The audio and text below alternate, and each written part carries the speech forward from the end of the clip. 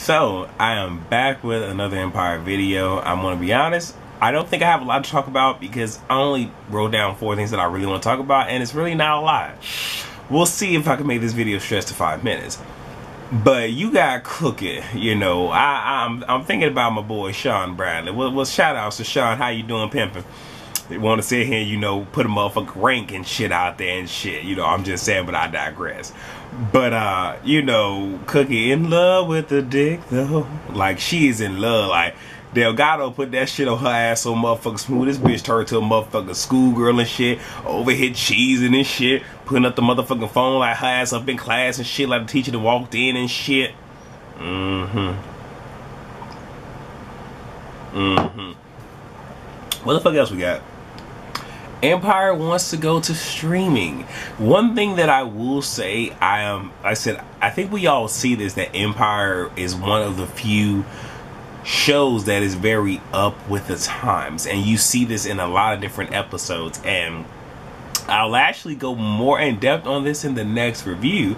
It's not a review, the next talking points that I do.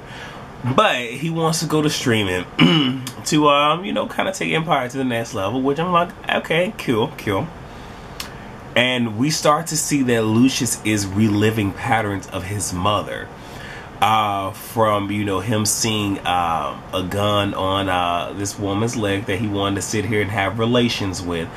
And kind of taking him back to his mother having a gun and putting it to her head and... Uh, uh, and if you think about it, you know, connect that to Andre, Andre doing the same exact things. And I might be able to stretch this out to five minutes. Look, you guys, when it comes to things that happen in our life, we have to talk about this, not just to someone to help us get clarity, but also to our families. Because I really do feel that if Lucious, and even though this is a fucking TV show, but hopefully what I'm saying can reach somebody because like I said, I use YouTube as a platform to not only encourage and act a complete fucking fool, but I actually use YouTube to talk about my life in general. And hopefully somebody can learn from something that I've went through.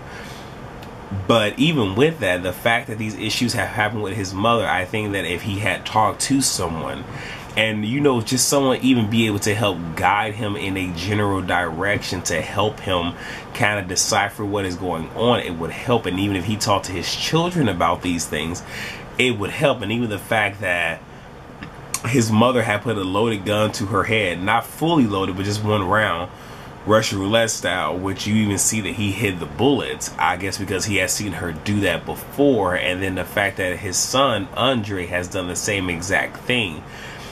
It's one of those where, you know, again, if we don't learn history and if we're not willing to share history, because one thing to learn history is another thing to share it.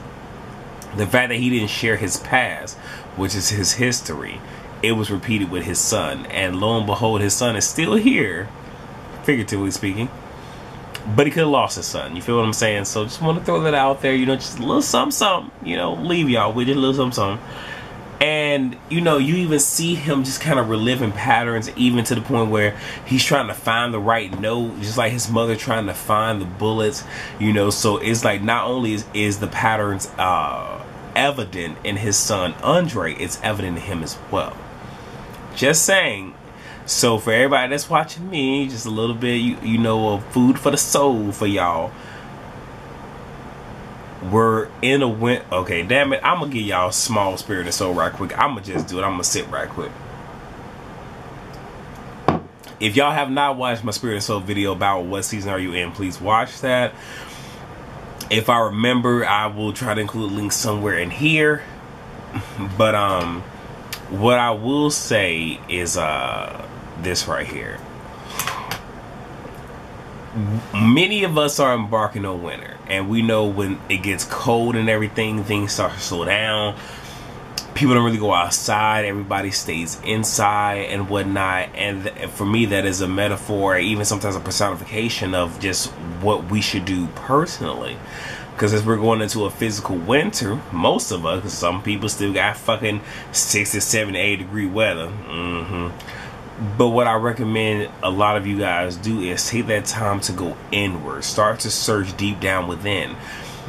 Use that time to go from being on the outside feeling everything and go on the inside and feel and start to you know kind of connect the dots with a lot of things. You know i understand that sometimes going into your past can be hard uh, harmful can be dark.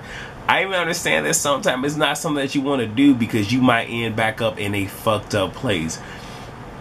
But sometimes in doing that is when you get the most clarity.